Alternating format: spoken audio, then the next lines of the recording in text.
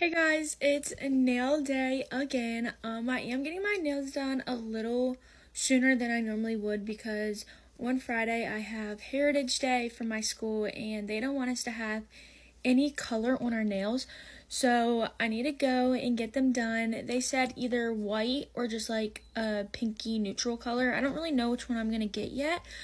But here are my nails. They're actually not that bad. Um, this one though, I probably still can't get a nail on it because it is dead because like part of my nail lifted up. So I need to head out because if I don't leave soon, we're gonna be late. I am back from the nail place and I decided just to get the little natural pinky look and I actually really like this a lot. Of course, there's not a nail in this one because of the lifting and stuff. I'm just going to keep it like this until I need to go get another fill and I tried to get coffin but she said she couldn't do it because they're in almond right now. But I wasn't like really sure if I was to like just like the natural plain look but I actually like it a lot. So I will see you guys later in the next video. Bye.